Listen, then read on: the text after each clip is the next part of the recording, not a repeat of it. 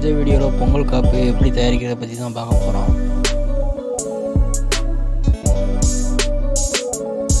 Hello நண்பர்களே நம்ம channel என்ன சப்ஸ்கிரைப் பண்ணாதவங்க கீழே இருக்க ரெட் கலர் பட்டனை அமைச்சு சப்ஸ்கிரைப் பண்ணிக்கோங்க.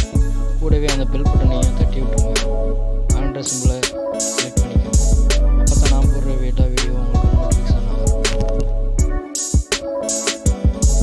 இந்த வீடியோ பார்க்குறவங்க ஒரு லைக் பண்ணிட்டு பாருங்கள் பொங்கல் காப்பு தயாரிக்க ஒரு நாலு பொருள் இருந்தால் போதும். அந்த வெள்ளையாக இருக்கிற பூவை வந்து நாங்கள் கூரைப்பூன்னு சொல்லுவோம்.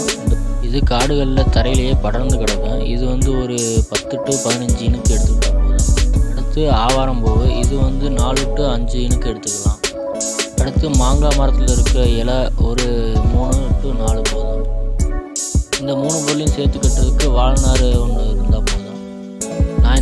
சொல்லியிருக்க மாதிரி நீங்களும் வீட்டில் ட்ரை பண்ணி பாருங்கள் ட்ரை பண்ணிவிட்டு எப்படி இருந்துச்சுன்றதை கீழே கமெண்டில் சொல்லுங்கள் வீடியோ கடைசி வரைக்கும் ஸ்கிப் பண்ணாமல் பாருங்கள்